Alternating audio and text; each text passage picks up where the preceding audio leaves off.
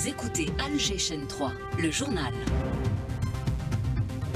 Le journal vous est présenté par Linda Hamed. Bonjour Linda. Bonjour Sabine, bonjour à tous et on entame cette nouvelle édition avec les titres. Saisine du Conseil constitutionnel par le Sénat et par le Premier ministère, certains des amendements de la loi de finances 2025 inclus par les députés ne semblent pas conformes. On vous expliquera leur contenu et qu'est-ce qui pose problème. La Cour a un mois max pour trancher. Lancement du projet de phosphate intégré, une nouvelle ère pour l'industrie minière algérienne. À Tébessa et à Sokaras, des retombées économiques positives attendues pour la région et pas seulement. On écoutera à ce propos le PDG de Sonatrach et l'invité du jour. Nous vous expliquerons dans ce midi les causes de cette température en hausse, leurs répercussions sur les rendements agricoles et nous irons aussi à Bako où les pays africains réclament réparation, eux qui font face le plus au changement climatique. De nouveaux massacres perpétrés à Raza par l'armée sioniste. On fera un nouveau point des dernières 24 heures. À suivre aussi dans cette édition un témoignage poignant des conditions, sur les conditions déplorables dans lesquelles vivent les prisonniers palestiniens.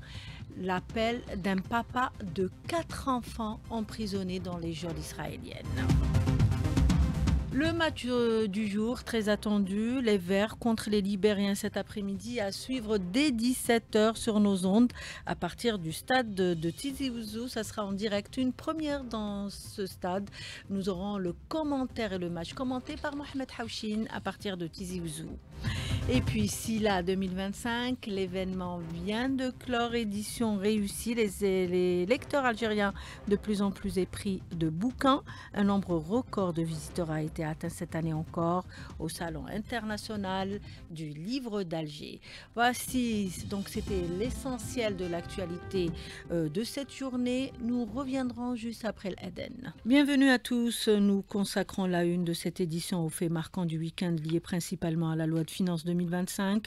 Après son adoption par les députés en semaine, elle a reçu le quitus des sénateurs hier. Le président du Conseil de la Nation a saisi cette occasion pour transmettre un message fort aux Algériens pour rappeler notre position de vigilance immuable face aux multiples menaces qui nous guettent de l'extérieur et face à cette guerre médiatique qui cherche à entacher l'Algérie. Hanan Saïsi. L'aura dont dispose notre pays, fort de son histoire, sa géographie et sa politique, fait que l'Algérie est ciblée aujourd'hui, relève Salah Koudjil. Nous sommes confrontés à la guerre médiatique mondiale. Néanmoins, l'Algérie a son mot à dire, grâce à sa place, sa politique et sa diplomatie réelle. Notre position est claire, notamment sur la question du Sahara occidental. Depuis le début, notre principe est clair sur l'autodétermination, tout comme nous avons défendu les causes des pays africains et asiatiques. Le peuple sahraoui a le droit de choisir son destin sous la supervision des Nations Unies. La préservation du pays repose sur l'unification des rangs, insiste Salah Goudjil. Notre travail doit s'axer sur l'effort, l'engagement et l'unité pour la préservation de notre pays. Tout le monde est concerné, y compris l'opposition. Il faut qu'on s'érige en un seul homme. Le président de la Chambre haute salue en ce sens le travail réalisé par l'institution militaire, l'ANP, qui assure la sécurité, l'unité nationale et l'intégrité du territoire. Et à propos de certains amendements jugés non conformes contenus dans la loi de finances 2025, le président du Sénat a pris la ferme décision de saisir le Conseil constitutionnel, un pas franchi également par euh, le Premier ministre. Euh, quatre articles en question à revoir, lesquels Nadim El a contacté Nabil Jema Financier pour vous informer. Je précise juste, ce n'est pas le Conseil constitutionnel, mais c'est la Cour constitutionnelle. La loi de base pour, euh, c'est-à-dire rétablir la loi de finances, c'est le règlement 1815 qui parle, c'est-à-dire euh, c'est les textes de base pour concevoir une loi de finances. Certains articles, il y a eu des chevauchements où il faut les ajuster maintenant. Ces erreurs et les directives du président de la République, c'est le côté pouvoir d'achat de l'individu. Mais on a vu des augmentations pour élargir les recettes de la fiscalité, mais on n'augmente pas de cette façon, pas l'élargir d'une manière verticale. On préfère d'une manière horizontale, c'est-à-dire toucher plus d'individus Et la Cour constitutionnelle a maintenant un mois au maximum pour trancher la question. On arrive à ce projet qui constitue la pierre angulaire pour l'autosuffisance de l'Algérie en matière de production de fertilisants agricoles et lequel assurera des milliers d'emplois pour les jeunes à Soukharas, mais encore Tebessa ou Annaba. C'est le complexe de transformation et de production de fertilisants azotés et phosphatés de Wetkebrit. Ces retombées sont citées par le PDG de Sonatrach, Rachid Hachichi, qui était en visite sur place. Il en parle au micro de notre correspondant sur place, Adar Boraoui. C'est un projet qui aura des retombées bénéfiques sur toutes ces régions-là, la wilaya de Tebessa, la wilaya de Sogaras et Annaba. Donc, durant le projet, il va y avoir de l'emploi qui peut atteindre des milliers d'employés. Et après, il va y avoir des emplois permanents qui seront des techniciens des ingénieurs chargés de la conduite des installations. L'Algérie figure parmi les dix premiers pays au monde avec des réserves géologiques en phosphate estimées à plus de 3 milliards de tonnes à l'est du pays, une richesse naturelle à haut potentiel et très demandée sur le marché international. Nadia Ben Youssef, directrice centrale à Engineering Project Management à Sonatrach, elle était l'invitée du jour. Elle répondait ce matin sur nos ondes aux questions de Nariman Mendil.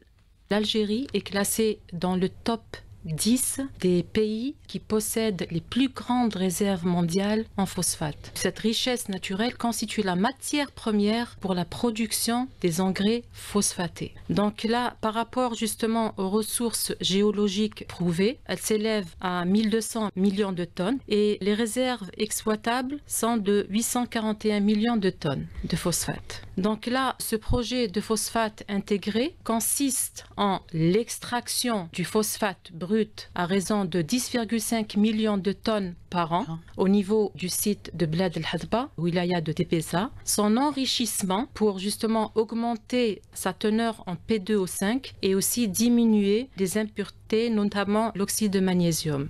Et on rappelle qu'il y a un peu plus d'un an, prévision de l'entrée de production de ce projet justement, Ferrovial a arrêté un programme spécial portant sur la production de 1820 wagons de chemin de fer destinés au transport du phosphate vers les structures de transformation. Vous les ressentez sans doute tous, ces températures exceptionnellement élevées pour la saison, une chaleur inhabituelle que nous explique en quelques mots Rafiq Hamadashi, les météorologues on assiste à un flux de sud-ouest dominant sur les basses et moyennes couches de l'atmosphère, ce flux transportant ainsi de l'air chaud du quart sud-ouest du pays vers le nord, expliquant ainsi la hausse de température qu'on observe durant les derniers jours sur le nord du pays, en particulier sur les régions côtières et intérieures de l'ouest et du centre-ouest. Donc cette hausse de température va se poursuivre pour aujourd'hui. Alors, un automne aussi chaud préconise-t-il des risques de sécheresse et des répercussions sur les rendements agricoles? Question posée par Mayel Kenza Mohamed Yazid Hembli, président de la Chambre nationale d'agriculture. C'est très tôt de parler de sécheresse. Il n'y a pas de sécheresse parce qu'on est en début de campagne et avec les pluies du mois précédent, le mois d'octobre et les pluies du début de novembre, et ils ont facilité les préparations du sol pour les agriculteurs. Donc, ça a permis aux agriculteurs de bien préparer les lits de semences, euh, les lits de semis pour une éventuelle bonne saison. On espère que la saison soit bonne parce qu'on s'est habitué à cette température les dix dernières années. Donc, c'est pas méchant pour notre agriculture. C'est encore très tôt de parler de sécheresse. Les agriculteurs sont en train de travailler leur sol, préparer les gens surtout dans le nord algérien et dans l'est algérien où on espère avoir une belle saison. On ne peut parler encore de sécheresse dès maintenant en effet, mais le risque est réel avec les changements climatiques. Le continent en paye les frais. Lui, le moins pollueur exposé de près à tous les risques face à une industrialisation effrénée, l'Afrique étouffe et se trouve souvent submergée par les eaux. L'Afrique exige réparation à Bako à la COP29. Docteur Samir Grimes, expert en environnement. On ne peut pas parler de rendement parce qu'on est au début du semis, on est au début de campagne, c'est très tôt de parler, donc les rendements sont affectés. Il y a des périodes critiques, c'est le mois de mars, mois d'avril, c'est très tôt de parler de rendement de sécheresse. Vous l'avez compris, c'était le météorologue. On écoute maintenant Dr Samir Grimes, expert en environnement. La revendication de l'Afrique quant à la nécessité, voire à l'urgence d'opérationnaliser le fonds des pertes et dommages pour les pays les plus vulnérables face au changement climatique. Pays industrialisés responsables de la dégradation du climat et de la concentration et de l'accumulation des gaz à effet de serre dans l'atmosphère n'ont pas une franche volonté à concrétiser rapidement les objectifs de ce fonds et l'opérationnaliser. Certains de ces pays d'ailleurs vivent des conditions économiques difficiles et pour certains leur propre adaptation face aux effets des changements climatiques est coûteuse donc euh, ils ne sont pas prêts à le faire au détriment de leur économie et de leur résilience. 12h43 minutes sur les ondes d'Alger 3 Raza, six massacres perpétrés ces dernières 24 heures à Beit Lahia, dans le nord et dans les camps de Nusayrat et El Boraïj. Selon un bilan non encore définitif, il y a eu 96 martyrs et plus de 60 blessés de nouvelles frappes sionistes qui ont également visé tôt ce matin la banlieue sud de Beyrouth. Pas de bilan disponible pour l'heure. Quant à la situation des prisonniers palestiniens, elle est tout aussi dramatique. Leurs familles montent au créneau pour dénoncer les conditions inhumaines dans lesquelles vivent leurs proches. Une telle sauvagerie des soldats sionistes imposés au quotidien, elle est décrite par un père de quatre enfants prisonniers très affectés par leur état physique et moral. Il s'appelle Ayman Zelloum, contacté par Karim Abnour. Il insiste pour que son message parvienne à être écouté partout. Je suis sûr que la situation terrible des prisonniers palestiniens n'a jamais été enregistrée dans l'histoire de l'humanité. Ils sont humiliés quotidiennement. Les sionistes leur enlèvent tous leurs vêtements devant les soldats femmes et hommes en se moquant d'eux. Ils n'ont qu'un seul vêtement. Ils se lavent une fois chaque deux semaines, puis ils remettent les mêmes habits sales. Les jeunes se lèvent la nuit, ils crient de douleur, ils se grattent tout le temps. Dieu seul sait combien ils souffrent. Il leur est interdit de se raser. Ils ressemblent tous à des hommes de caverne. À plusieurs reprises, 30 à 40 soldats sionistes s'acharnent contre 10 des prisonniers. Ils les frappent partout et ils leur cassent même les os. Ces prisonniers veulent la liberté d'abord, mais ils demandent en parallèle de les traiter comme le stipulent les conventions internationales des prisonniers de guerre. Et la vice-première ministre belge qui appelle l'Union européenne à imposer sans délai des sanctions à l'encontre de l'entité sioniste, souscrivant ainsi à la proposition du chef de la politique étrangère de l'Union européenne de suspendre le dialogue politique avec Israël en raison du génocide en cours. Joseph Borrell, dont le mandat expire dans quelques jours, a proposé de suspendre en effet le dialogue politique avec l'entité sioniste et d'imposer une interdiction à l'échelle de l'Union européenne sur l'importation de produits provenant de colonies illégales. Ces points se rend d'ailleurs à l'ordre du jour lors du Conseil des affaires étrangères de l'Union européenne cette semaine, selon la militante Claude Léostic. Je pense qu'il est peu probable que ce soit suivi des faits. Ça fait très longtemps que le mouvement de solidarité demande la suspension de l'accord d'association entre Israël et l'Union européenne et qu'il y a une clause suspensive. Hein, si l'un des partenaires commet des crimes, peut suspendre l'accord. C'est évidemment le cas d'Israël. Et ça n'a jamais été fait parce qu'il faut l'unanimité au niveau du Conseil européen. Et malheureusement, un certain nombre d'États en Europe, notamment en Europe centrale, appuient systématiquement la politique israélienne et ne voteront pas la suspension de Par contre, c'est une très bonne nouvelle, ne serait-ce que symbolique, que les dirigeants comme, comme la Belgique, effectivement, appellent à rompre tout dialogue avec Israël tant qu'il ne se plie pas au droit international. Claude Léostic, la militante, est jointe par téléphone par la Béa Slimani. Elle explique par ailleurs que malgré l'ampleur du désastre à Gaza, la résistance du Hamas ne faiblit pas alors que le Hezbollah libanais affirme avoir mené un total de 1349 opérations en deux mois contre l'entité sioniste avec une moyenne de 22 opérations par jour qui aurait fait plus de 100 morts et plus de 1000 blessés du côté israélien. Deux fusées éclairantes ont atterri également hier soir devant la résidence privée du Premier ministre israélien Benjamin Netanyahu. La résistance réussit à envoyer des fusées éclairantes sur le domicile de Netanyahou en, Israël. Comme avant, il y avait eu un drone d'ailleurs hein, qui avait frappé sa maison. Donc ils sont pas à l'abri, hein, les Israéliens. Que ce soit du côté du Hezbollah ou du côté du Hamas, la résistance armée continue à s'opposer à la politique israélienne. Que répètent le gouvernement et l'armée israélienne depuis le début, c'est qu'ils vont se débarrasser totalement du Hamas et puis également du Hezbollah au Liban. Et on voit bien que ça n'est absolument pas le cas. À Gaza, ça fait 13 mois de génocide et le Hamas n'est pas défait. À nouveau, des nouveaux résistants se lèvent puisque euh, devant le génocide, ils n'ont pas d'autre solution que de résister. Et à chaque fois que l'armée israélienne quitte un endroit particulier de Gaza où elle a pilonné, elle a tout détruit, elle a fait un champ de ruines, on voit réapparaître des brigades du Hamas dès qu'ils sont partis. Donc ça veut bien dire qu'ils n'y arriveront pas. Des propos recueillis par Rabea Slimani, la jeunesse africaine en conclave en Éthiopie. L'Algérie est présente à travers une délégation conduite par le président du Conseil supérieur de la jeunesse, Mustafa Idawi. Pour lui, c'est l'occasion de rencontrer des jeunes leaders de différents pays africains, d'établir aussi des liens avec eux et de plaider en faveur des différentes questions intéressant le continent, les jeunes, partie prenante du processus décisionnel. Plus de 7 millions d'électeurs attendus aux urnes ce dimanche au Sénégal, un événement crucial pour définir la composition des 165 sièges de l'Assemblée nationale pour les cinq prochaines années. Ils sont 41 candidats en course. El Haj Kandoul, analyste politique sénégalais. Il y a une liste en compétition, mais quatre seulement sont favoris. La première liste, c'est la liste dirigée par le Premier ministre M. Ousmane Sonko, l'actuel Premier ministre. La deuxième liste, c'est la liste de l'ancien président de la République, M. Macky Sall. Euh, on va dire la troisième liste, c'est la liste de l'ancien Premier ministre de M. Macky Sall, qui s'appelle M. Amadouba, qui est même second aux élections présidentielles passées. Et la quatrième liste, c'est la liste du nouveau maire de Dakar, M. Barthélemy Toy Gaz. Et en bref, le parquet national financier chargé en France des principales affaires politico-financières a requis un procès devant un tribunal correctionnel, notamment pour corruption et trafic d'influence contre la ministre de la Culture d'origine marocaine, Rachida Dati.